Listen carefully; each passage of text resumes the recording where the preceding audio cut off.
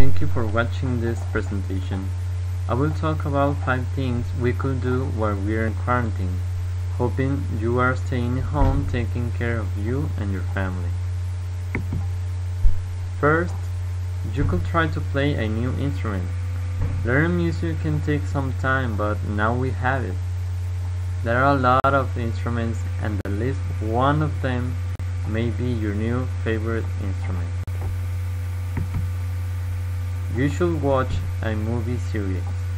This time is perfect to watch that movie series almost everyone watched except you, like Harry Potter in my case. This might help you to understand that means that always confuse you. You may try to do some workout at home.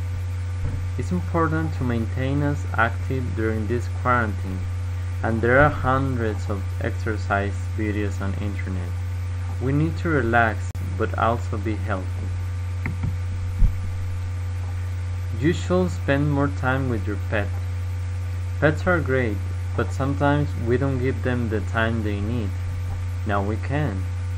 We can do our daily activities with the company of our pets or also teach them some tricks.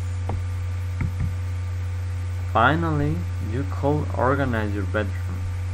This is a great time to classify your personal things, clean them and take out the things you don't need.